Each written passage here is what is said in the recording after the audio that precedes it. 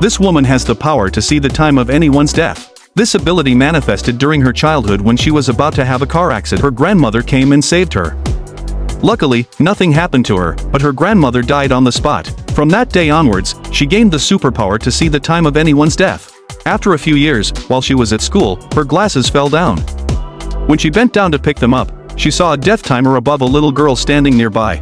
The girl was going to die in the next minute. Seeing a truck approaching, she thought the girl would meet with an accident. She ran and stood in front of the truck to stop it, and fortunately, it did. However, when she looked back, the girl was lying on the ground, and her health began to decline rapidly. The woman's own timer started decreasing, and she died on the spot. Despite her ability to see the time of people's deaths, she couldn't save them, nor could she save her own life, as she had less than six months left. One day, she met a boy, and by being with him, the time of her death automatically stopped.